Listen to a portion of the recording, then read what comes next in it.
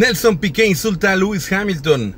El tres veces campeón del mundo Nelson Piqué, suegro de Max Verstappen, dio una entrevista en noviembre del año pasado sobre el accidente que tuvo Lewis Hamilton con Max Verstappen en el Gran Premio de Gran Bretaña, cuyas declaraciones desataron polémica en el mundo del automovilismo recientemente.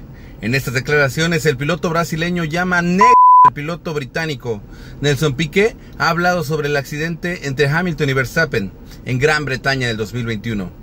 El negrito metió el coche y se fue porque no había forma de que pasasen dos coches por esa curva. Fue una broma. Por suerte para él, solo el otro se jodió, refiriéndose a que Hamilton se benefició del choque, siendo él el culpable.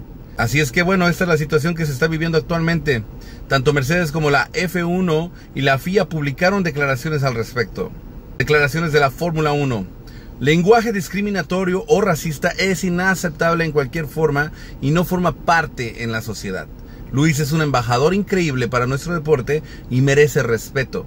Sus esfuerzos incansables para incrementar la diversidad e inclusión son una lección para muchos. Y estas son las declaraciones de Mercedes. Condenamos de la forma más fuerte el uso del racismo o lenguaje discriminatorio de cualquier tipo.